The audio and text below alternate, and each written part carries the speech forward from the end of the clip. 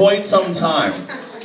Now, I'll tell you a little story real quick. So a couple of years, a We've been saved. A couple of years, here you go, here you go, Derek, Derek. We've been saved. We've been saved. A couple few years ago, um, way back when uh, Chris was the MC and Lori and I were just lowly facilitators. We.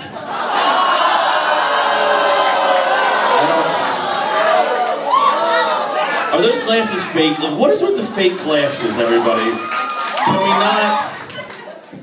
Anyway, so we would we would take Lori's stuff and we would make her have to sing "I'm a Little Teapot" like multiple times a weekend. How long has it been since you sang "I'm a Little Teapot" in front of a bunch of people? 1973. Ouch. Justin, you're eight years older than me. Uh, Touche, touche.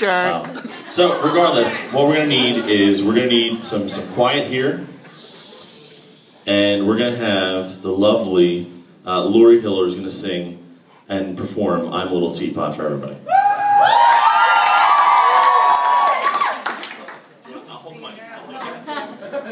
It's been six years, by the way, since I've had to do this.